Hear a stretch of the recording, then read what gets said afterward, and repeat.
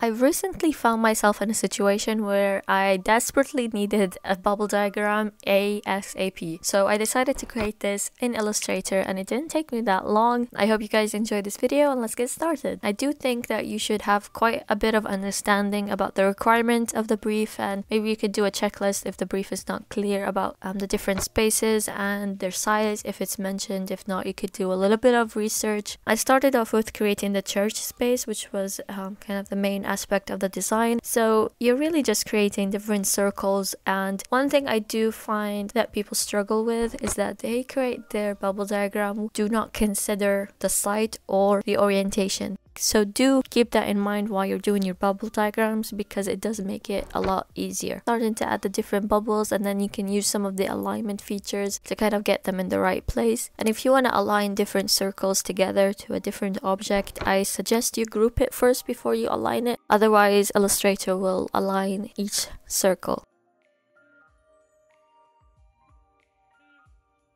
So then I've created this rectangle to kind of suggest a vista between um, the main entry space and then the seating to the left space. And then I've aligned that too and I've turned that into a dashed line. And you can create that really easily by clicking on this button here and then changing the spacings if you'd like.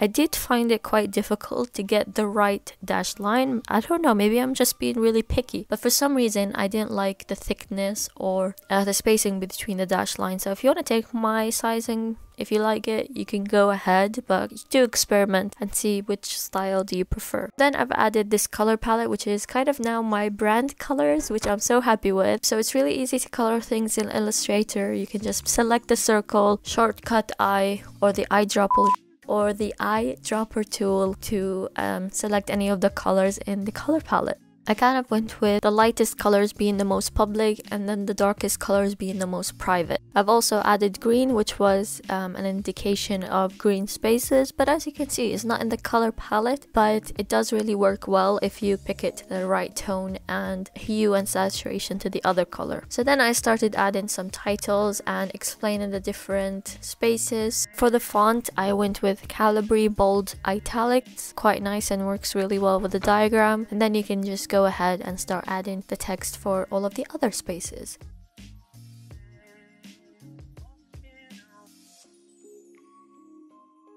So then afterwards, just go ahead and keep adding all of the circles and all of the other bubbles kind of in consideration with the orientation. So for this design, we kind of had two major functions, which was the church space and as well as informal sports hall. You can kind of see that the informal sports hall is kind of relatively the same size as the church space with all of its functions together. And those are also connected together with an atrium space.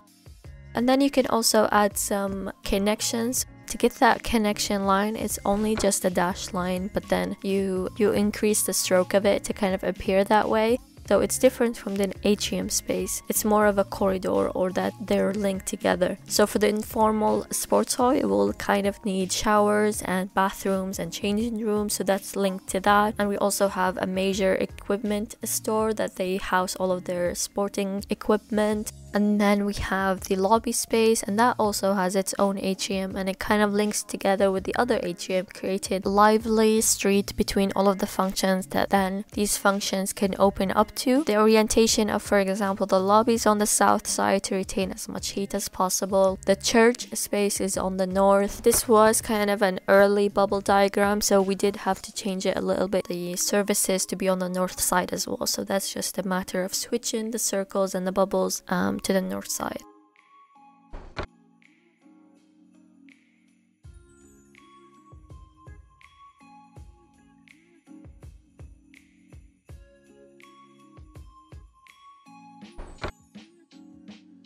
There's also different activity spaces and that opens up to the lobby space. And then we also have some kitchen and offices.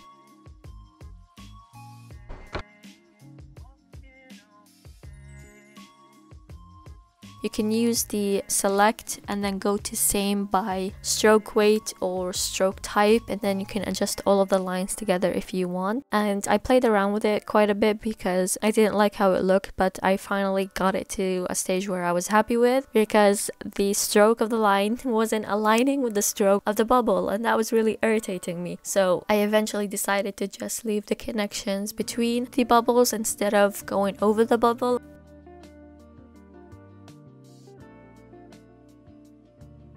I've also added arrows to kind of indicate the different entrances so we have an entrance from each end of the atrium space. To add an arrow in Illustrator you'll have to add a line first and then from the right here where it says stroke you can then add an arrowhead and you can change its scale to kind of fit with the rest of the diagram.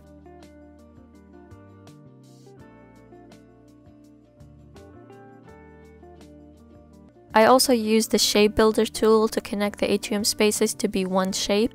That was kind of the final diagram. It was really quick and really easy and I think it looks quite professional. I would much rather do this by hand to be honest because um, I just love the look of it but it is a different approach to bubble diagrams because it's clean and it's quite easy and I feel like a lot of people can recreate really easily.